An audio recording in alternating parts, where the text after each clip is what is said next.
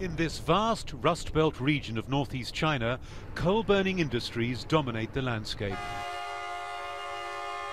At this time of year, the temperature often falls to 15 degrees below zero. The days are short. It's a tough environment for a miner.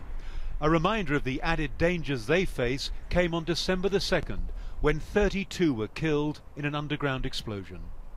It was the eighth mining accident in China since October, with more than 100 deaths.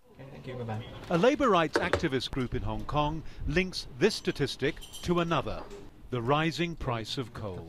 There is a definite correlation between the rise in coal prices and the rise in worker deaths. Um, we've seen this in the past.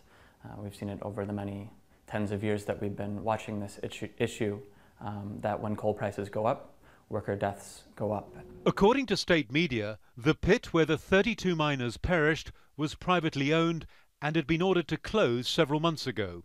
Yet local government officials have been unable to explain how it reopened without permission. Yes, closed mines are being reopened, and it seems that the government is well aware that with the rising price of coal, there is a huge incentive to reopen uh, mines that have been previously closed down.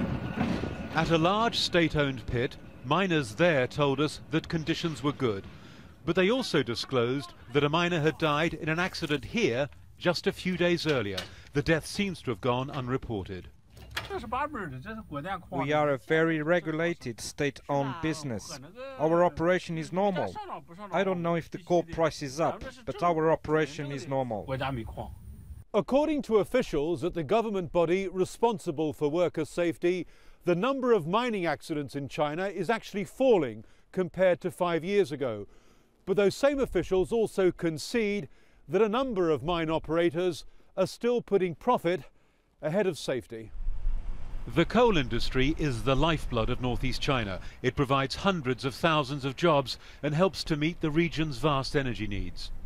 But the government finds itself in a bind because it's also committed to cutting carbon emissions as part of the Paris Climate Change Agreement. That means mines must close. Another reason, perhaps, that operators are now getting coal out of the ground just as quickly as they can. Adrian Brown, Al Jazeera, in northeast China.